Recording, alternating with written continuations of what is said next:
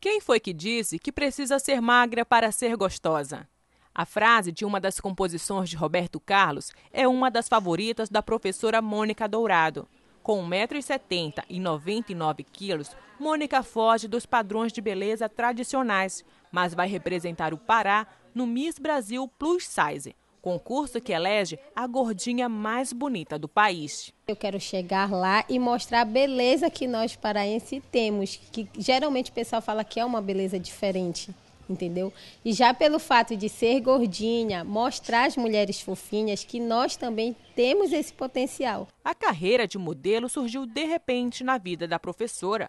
Através do perfil de uma rede social, uma empresária descobriu a beleza de Mônica e a inscreveu no site para participar da segunda edição do concurso. Depois de virar Miss Pará Plus Size, Mônica posou para fotos, participou de entrevistas e ficou famosa. Para ela, se sentir bem com o próprio corpo é a melhor forma de mostrar a verdadeira beleza.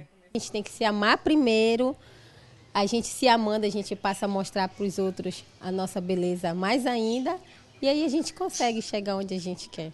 O concurso será no dia 30 de março em Brasília e a representante do Pará está confiante na conquista do título. Eu estou muito animada, muito esperançosa. Assim. Eu acredito que a gente possa trazer o título, eh, primeiro título para o Pará, né?